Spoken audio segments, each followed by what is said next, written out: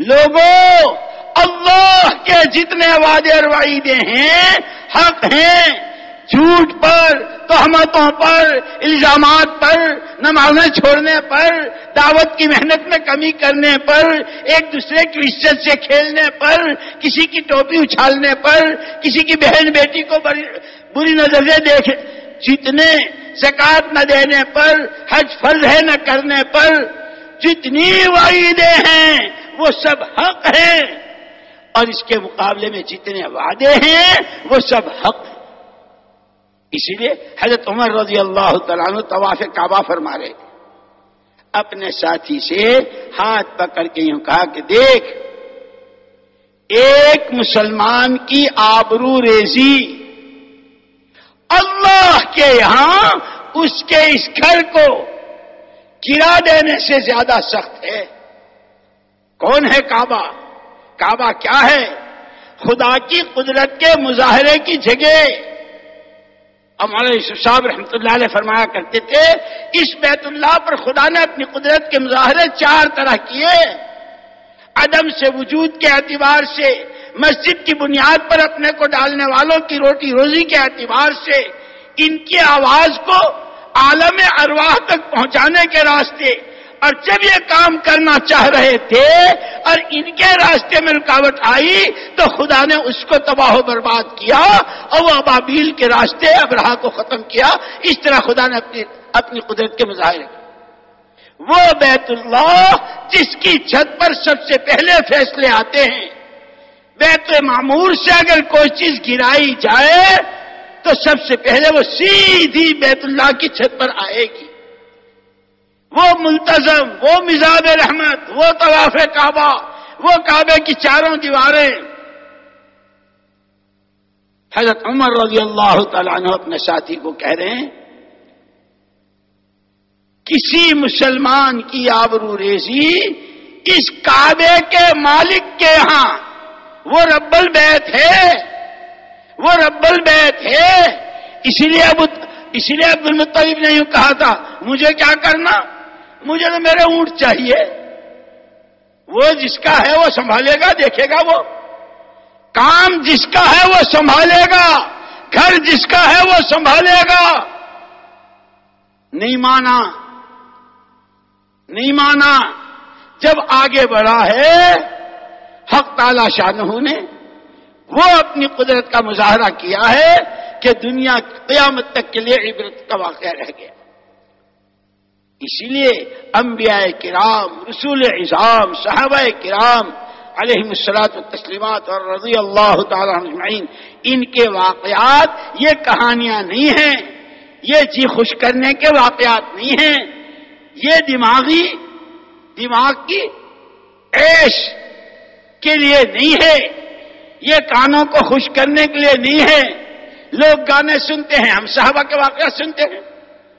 लोग गाने सुनते हैं, हम कुरान की आयतें सुनते हैं। लोग गाना गाते हैं, हम कुरान पढ़ते हैं।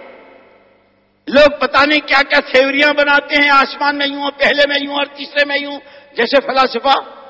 हर नबियों की बातें करते हैं। सिर्फ़ इतना नहीं है।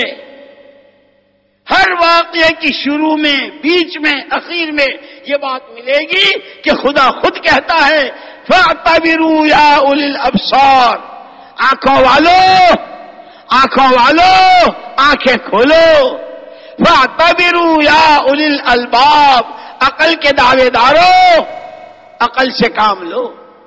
इसीलिए हज़रत उमर फारूक रज़ी अल्लाह तु उस साथी का हाथ पकड़कर ये भी फरमा रहे हैं, और तवाफ की दुआओं में ये दुआ करते थे अल्लाह कुन तक तत्तनी फिर फसबितनी फीहा ए खुदा अगर तूने मुझको शहादत मंदों में लिखा है तो मुझे उसमें बाकी रखियो। वह इन कुंत कतक तनी फ़ी शकावा। बदबख्तों में, बदनसीबों में अगर तूने लिख रखा है, ए खुदा, मेरा नाम वहाँ से हटा दे। तू तो सब कुछ कर सकता है। ये दुआएँ करते थे, आँखों से आँसू बहते थे। और किसी की सादत शकावत का किसी को पता नहीं, खुदा ही जानता है। इसी अल्लाह जजाय खैर दे। मौलाना यूसुफ साहब रहमत ने जो अल्लाह उनके दर्जात बुलंद फरमाए। सहाबा की ये पूरी सीरत, उनकी ये पूरी ज़िंदगी, इस मेहनत के उसूल जाते इसमें चलने वालों की माशरत, उनका रहन सहन, उनके अखलाक, उनके एक दूसरे से मोहब्बत, और उनका हर वक्त खुदाई मददों पर नज़रें कोई अमल, कोई बात, कोई हरकत, कोई जज्बा, कोई ख्याल ऐसा न हो जाए कि जिससे अल्लाह की मदद रुक जाए। मुझे याद है, हज़रत सादी बिन अभी वक्स रज़ी अल्लाह तु ने जब अपनी फौज को समंदर में घोड़े डालने को कहा था तो उससे पहले पूरी फौज पर एक तायराना नज़र डाली थी। सहाबा थे, लेकिन बड़ों का इम्तिहान भी बड़ा उन्हीं के हिसाब से, उनकी आजमाइश भी, उनकी जाँच पड़ताल भी, कि पूरी फौज में कोई माशियत कोई गुनाह तो नहीं हो रहा। इसलिए कि गुनाह के साथ खुदा की मदद नहीं होती। लेकिन वो तो हजूर के यहाँ के तरबियत याफ्ता थे। उनके तो ख्यालात भी पाकिजा इसीलिए मैं तो मस्जिदवार जमात के लिए अर्ज़ किया करता हूँ, ल मस्जिद उन उससे अलग तकवा मिन अव्वल यौमिन अहक अन तकूम फ़ी फ़ी ही रिजान प्यारे नबी, ये मस्जिद ज़्यादा हकदार है, यहाँ आपको रहना चाहिए। क्यों? फानुस बाहर से मंगवाए गए हैं, कालीन बिछाए गए हैं, वहाँ कहाँ, कालीन कहाँ, फानुस कहाँ ही। कि इसकी वजह क्या? कि इस मस्जिद में आदमी है। इस मस्जिद में आदमी है। ओहो, आदमियों की क्या कमी? दुनिया सारी भरी पड़ी है। नहीं नहीं, इस मस्जिद के आदमियों की खसूसियत तो सुनो। यही पूनाई तो तहरू तमाम मरगूबात, तमाम मालूफात, तमाम महबूबात तमाम चॉइसें तमाम पसंदियाँ, तमाम जज्बात, तमाम ख्याल सब दिलों से रुखसत हो चुके हैं। एक ही चीज़ दिल में रह गई है, हम पाक हो जाएँ। हम पाक हो जाएँ। कहे से? अकीदा हमारा पाक, यकीन हमारा पाक, नज़रें हमारी पाक, जज्बात हमारे पाक। इज्तमाही कुर्बानी 2024 अपने शहर में रहते हुए हमारे ज़रिए कुर्बानी करवाए।